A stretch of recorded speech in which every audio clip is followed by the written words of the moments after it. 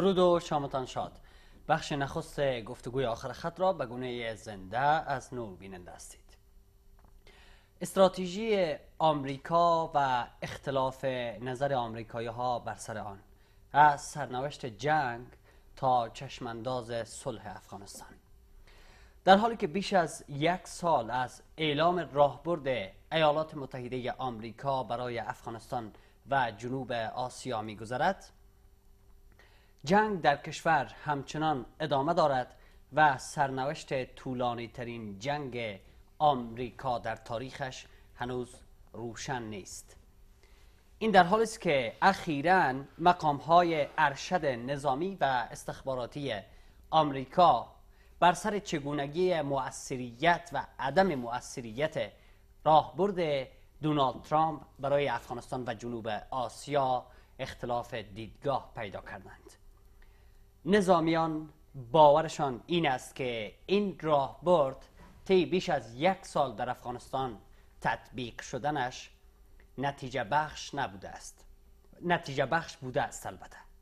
و باور استخباراتی های ارشد آمریکا هم خلاف باور نظامیان است و اونها به این باور هستند که استراتژی بی نتیجه بوده است و موثریت نداشته است.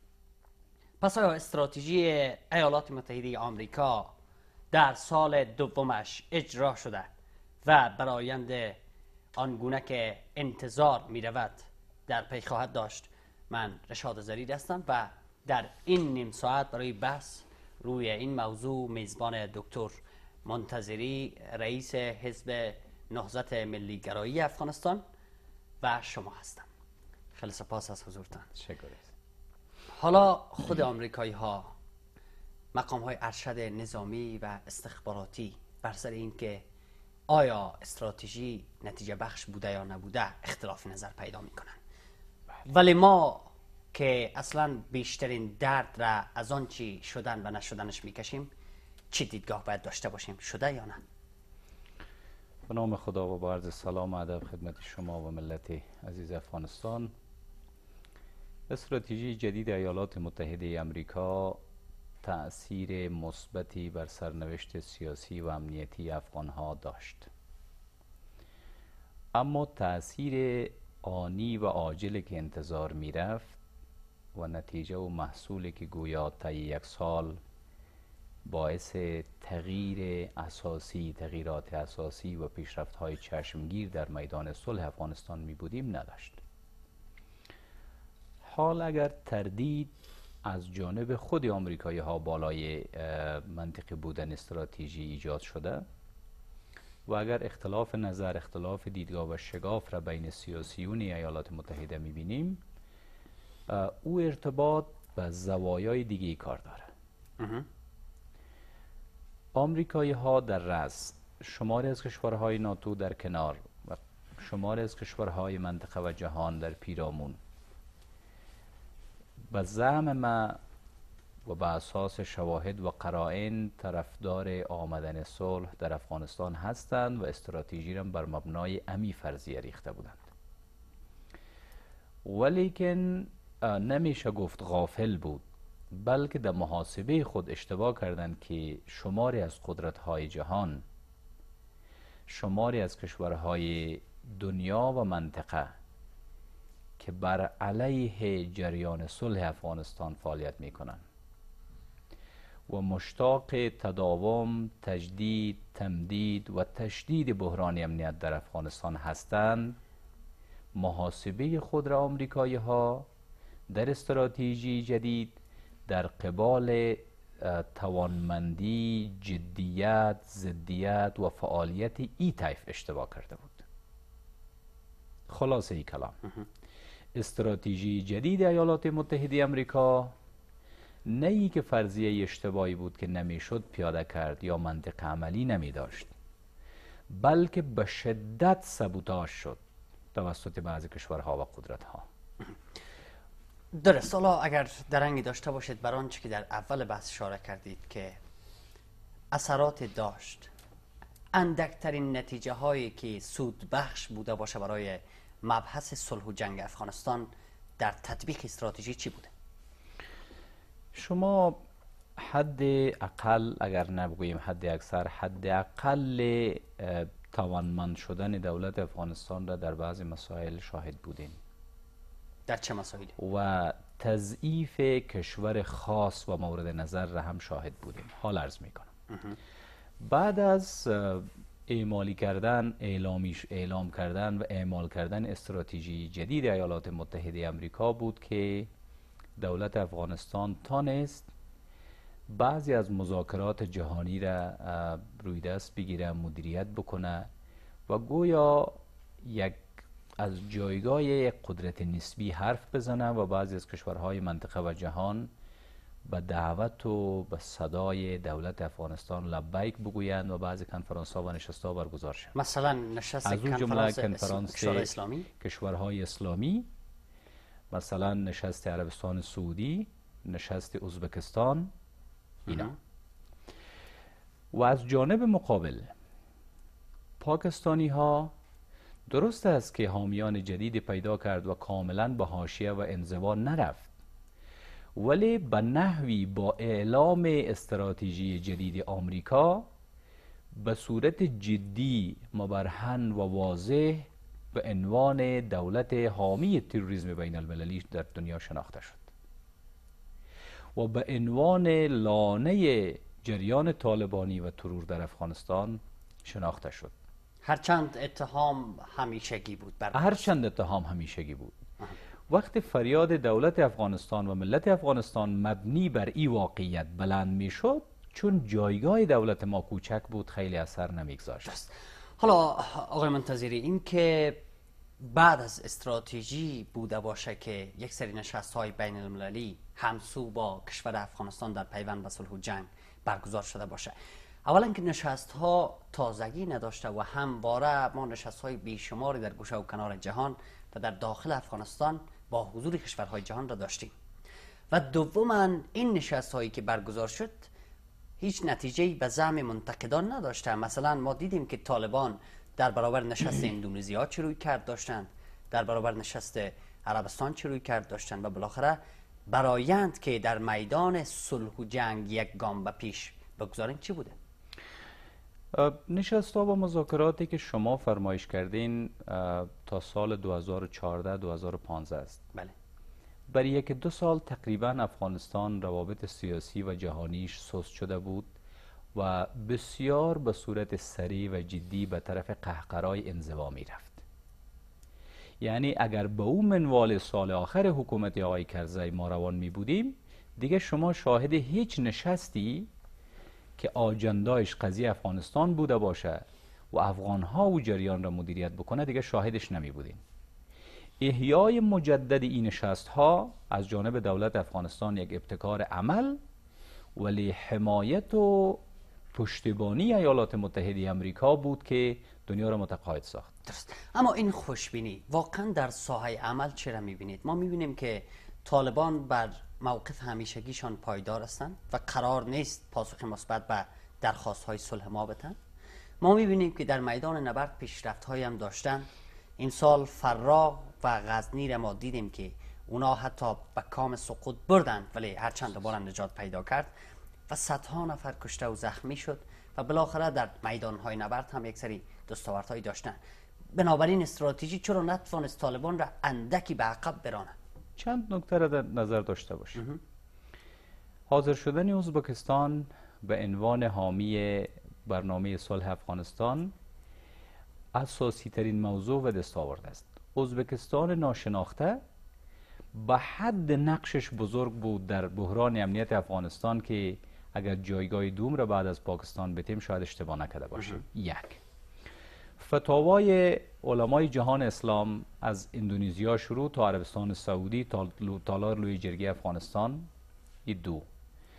سوم شما در نظر داشته باشین که امروز بخش اعظم از طالبا با ایالات متحده امریکا به تماس است و فیصله هایی که اینا با هم داشتن فیصله جالبی است. مثلا. فیصله به است که شما اینجا طالب دارین که با آمریکایی ها به تماس است. اما طالبایی دارین که بعضی کشورهای دیگه ایجادش کرده. اگر از هلیکوپترهای هم صحبت میشه همیشه فقط میگن هلیکوپترهای آمریکایی. در حالی که شما طالب دارین که کشور الف ایجادش کرده و حمایت می‌کنه کشور ب ایجادش کرده کشور جیم ایجادش کرده کشور دال ایجادش کرده. اما چرا؟ حال حال اینی طالبه که میای غزنی رو می‌گیره این بخش از اونمو قدرت های دنیاست که اینجا قدرت نمایی می‌کنه او که می به فرا حمله می‌کنه انتقام آب می‌گیره و می‌خوای آب آزاد بکنه. شما باید متوجه ای کارنر و زاویه قضیه باشین که ای طرف جریان است. ولی طالبی که میآید در جوزجان داعش می‌کشه و بعد دولت افغانستان میای نجات میته و ای 250 نفر میاره به کابل و ازش. این, این طرف دیگه قضیه است. یعنی چی؟ بخش اعظم طالبا به اساس بعض اطلاعات حاضر آماده شدن که بیان به پروسه صلح. امتیازات بزرگی هم برشان داده میشه. ولی این طالبا یک کارخانگی دمیروی خود داره این کارخانگی رو باید خلاص بکنه بعد بیا به پروسه بخشش شاید گفت بشوه گفت شاید هم نشوه گفت. اونا باید یک تصفیه کاری را به بعض جاها بکنن. بعض تصفیه ها را باید انجام بده و او تصفیه توسط اونمو طیف اعظمی از طالبا باید صورت بگیره.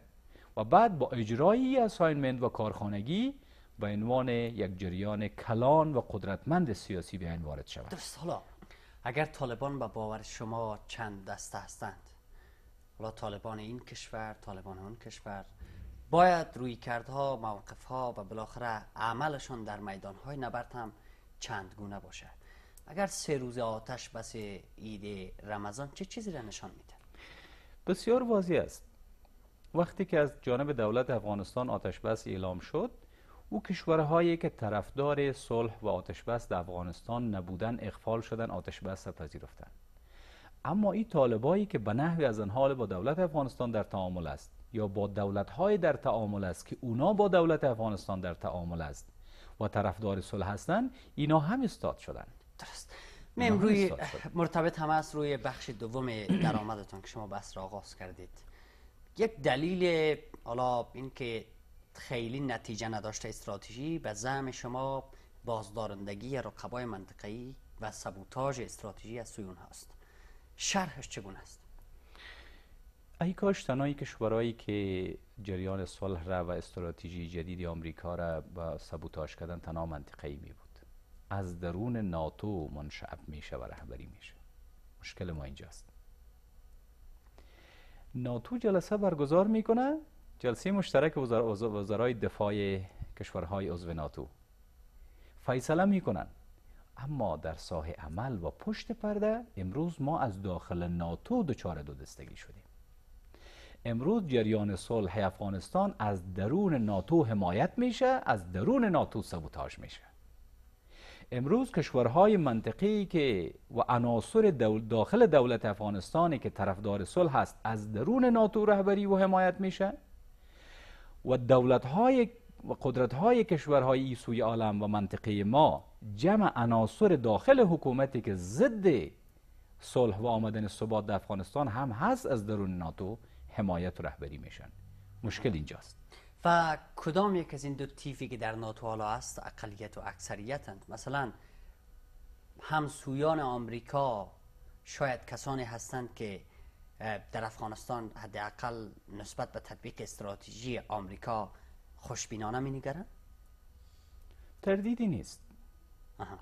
شماری از کشورهایی که بیشترین مصرف به افغانستان می‌کنن به بیشترین اهداف خودم رسیدن. ولی اونا که سبوتاژ مقاصد درم که تصمیم داشتن دمی روی داشتن رسیدن. نتایج و منافعی رم که می‌خواستن به دست بیارن به دست آوردن حال و بنفشان است که بوج اقتصادی هزینه های اقتصادی کم شود. مصروفیت سیاسی و امنیتی کم شود تا به جای دیگه عالم بپردازند. ولی این سوی قضیه که جنجال تداوم میبخشه بحران تداوم میبخشه و صلح را برنامه های صلح سبوتاژ می‌کنه متاسفانه بعضا عناصر و نورچشمی هایشان و افراد و شبکه هایی که به نفع کار می‌کنه گاهن میچربه بر جریان جانب مقابل. درست. و حالا اگر بریم به طرف راه برون رفت در سال دوم استراتژی آمریکا پیشنهاد شما چی است؟ آیا استراتژی در استراتژی بازنگری شود و موادش دگرگون شود و سیاست آمریکا دگرگون شود؟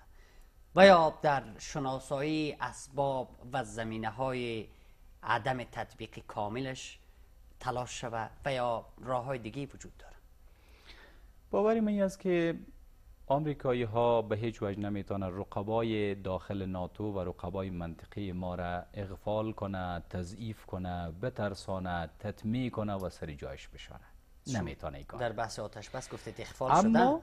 اقفال از جانب آمریکایی ها نشد. اونا فکر نمی‌کرد که قدر نتیجه داشته باشه. محاسبهشان اشتباه بود. وقتی که دیدن که نتیجه کم نتیجه که اونا می‌خواستن کم بود موثریت جنگ به نفع دولت و ملت افغانستان بود در اید دوم نپذیرفت.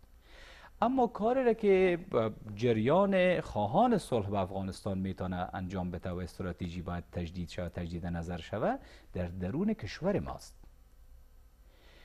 به چه شکلی به چه شیوهی با برگزاری چی گونه انتخاباتی با حمایت از کیهای در پارلمان برفتن به پارلمان و ورود کیها از کانال پارلمان به حکومت جدید افغانستان اینی است که باید عناصر مخل امنیت به حد اقل خود برسه منابع سیاسی منابع امنیتی منابع اقتصادی او افراد و عناصری که مخل امنیتن و از این کشورها ها حمایت میشن اینا دست و پایشان گرفته شود.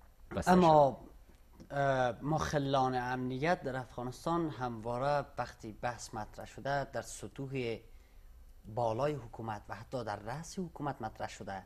در پارلمان اعضای کنونی پارلمان که قطعا نمیپذیرند و حتی خیلی ها روی پارلمانی کنونی در حد حساب نمی کنند که بتوانند امنیت را خراب بکنند یا بالاخره مختل کنند. اگر شما وزیر داخله شما رئیس امنیت شما وزیر دفاع شما از نور چشمی های مخل امنیت نباشه. جمع اکثریت پارلمان حتی رئیس جمهور شما اگر مخل امنیت باشه هیچ کاری از دستش بر نمیآید. هیچ کاری. ولی اگر رئیس جمهور شما طرفدار صلح و امنیت در افغانستان باشه ولی این سه تا وزیر سکتور دفاعی امنیتی شما از مخلان امنیت باشه و بخش اعظمی از پارلمان شما را عناصر مخل امنیت شکل بده بعد باز رئیس جمهور هیچ کاری کرده نمی‌تونه درست. ما سالهاست دولت افغانستان با همپیمانانش از جمله آمریکا فریاد می‌زنند که طالبان یا هم به هر با کاربری از هر, ابزاری تلاش کردند که طالبان یک بار چراغ سبز نشان بتند و به یکی از نشست های پیرامون صلح افغانستان نماینده بفرستند که محال به نظر می آمد ولی برای نخستین بار ما دیدیم که طالبان پذیرفتند که در نشست مسکو نماینده بفرستند و قرار بود حداقل نشستی برگزار شود که او یک از هر طرف کسانی باشه. افغانستان با آمریکا هم سو. از عدم اشتراکشون خبر دادن و بعد افغانستان سبب شد که به تأخیر بفته. دلیلی چی بوده می‌تونه؟ روس ها تلاش دارند که اه، طالبا را یک رسمیت نهضت فکری سیاسی و امنیتی جلوه بدن و مشروعیت ببخشند تلاش بری است که کرسی و جایگاه طالبا را در منطقه و در جهان بسیار چربتر و اساسی تر از دولت افغانستان تثبیت کنند برای که اوجا کرسی طالبا یک کرسی مذاکره کننده بود و دولت افغانستان مهمان مدعو دعوت شده. حالان که وقت قضیه صلح و جنگ افغانستان است در رأس میز مذاکره باید نماینده دولت افغانستان باشه. آجندا ابتکار طرح برنامه همه باید از آغازش با دولت افغانستان شریک می‌شد. برای که دولت افغانستان کم کم به حاشیه ببره پرستیژ جهانی و منطقه‌ایش پایین بیاره و طالبا را بالا بکشه ای برنامه روی کار شده بود. و این خاطر درست. سبوتاژ. و یک در این کوتاه برای یک محور متفاوتتر خصوصی سازی جنگ افغانستان. درخواست های پیهمی شرکت های مثل بلک واتر و نگرانی های پیرامون اون و بالاخره آنچه که امروز یا دیروز آقای جیمز ماتیس گفت که خصوصی سازی جنگ افغانستان معقول نیست. به نظرتان چه خواهد شد؟ یک چنین اقدامی را آمریکا روزی خواهد کرد؟ بلک واتر یکی از طراحان جریان طالبان در وقت و زمانش به افغانستان است. یک ایره ملت افغانستان بدانن جریانی که پول گرفته طالبا را برای طرحش برای آوردنش روی صحنه طرح داده و برنامه ریزی کرده هیچگاه به نفع صلح افغانستان هم دلسوزانه کار نمی‌کنه. دو هرگاه ما از بعضا شکست قوای مسلح افغانستان بیایم صحبت بکنیم یک بخش مهم شکست ها مربوط به فساد اداری و مالی داخل قوای مسلح است. اگر این میره به سکتور خصوصی سپرده میشه بعد فساد سرساماور مالی و اداری شکل می‌گیره و میدان جنگ به نفع طالبا برمیگردن درست اگر جمع بندی کنید دقیقه آخر برنامه. چشم انداز چی است؟ با از چه روزنه میشه به آینده جنگ آمریکا در افغانستان دید؟ فکر می‌کنم که بر یک سال یک سال و نیم اخیر تعداد از قماندانای مسلح غیر مسئول و افراد وارلارد و قماند جنگ سالار کشته میشن. تعدادی از اشخاص که مخل امنیت بودن و با منافع ملی کار نمی‌کردن زورگوی بودن. اول در اذهان عامه کوبیده میشه بعد کشته میشن فکر می‌کنم که جریاناتی که توسط بعضی کشورها ایجاد شده بود مانند پلیس محلی پلیس مردمی اینا از صحنه کشیده خواد شد. و بعد طالبا با اجرای کارخانگی خود به عنوان یک جریان سیاسی وارد صحنه خواد شدند اما ده جایی که تردید داره میست که آیا انتخابات پارلمانی رو به تعویق مندازم تا این کار خانگی توسط طالبا اجرا شوه؟ بعد بیای به انتخابات سهم بگیره و از هر ولایت یک وکیل برش سهمیه بیتن و 34 وکیل داشته باشه؟ یا انتخابات پارلمانی رو برگزار می‌کنن بعد طالبا آمادگی رو به انتخابات ریاست جمهوری بگیرن. تردید بیست. چشمانداز ما و برداشت ما چیزی که ما دمی روی داریم اینی قضایی است. خیلی سپاس از شما دکتر منتظری رئیس حزب نهضت ملت‌گرایی افغانستان. از حضورتان در بس. و ممنون شما که مهر ورزیده. بیننده بخش نخست آخر خط بودید. فرا میخوانمتان بعد دیدن بخش دوی آخر خط. با همکارم بشیر عظیمی پیش از او اما میان برنامه کوتاه.